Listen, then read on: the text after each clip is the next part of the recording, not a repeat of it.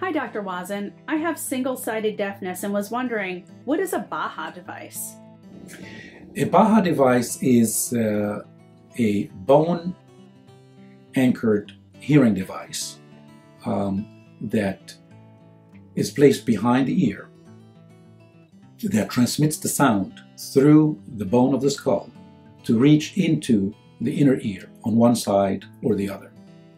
So with single-sided deafness, the way this works is that sound comes into the deaf side, the implant transfers the sound into the skull base, crosses over to the good side, so that the good side is helping the bad ear hear sound coming from the deaf side. What is the difference between a Baha and a cochlear implant? Oh, they're very different. A Baha system depends on the opposite ear to transfer the sound to the opposite side or transfer the sound to the same ear if there is a conductive block that interferes with sound reaching that ear. Uh, so the cochlear implant is for nerve loss that is necessary in both ears.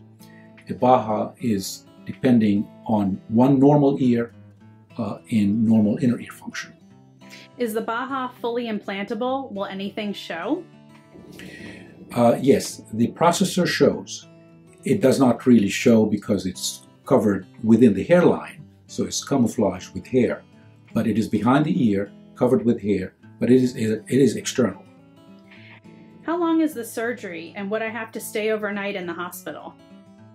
The Baha surgery is very quick. It takes us about 10 to 15 minutes to do this, local anesthesia. There's no hospital stay.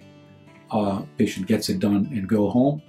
A few weeks, about three weeks later, they come back to get the processor programmed and attached. Is it painful? No, there's no pain. Is this procedure covered by my insurance? Bahas procedures are covered by most insurance. How long has this technology been available and how many of these have you done?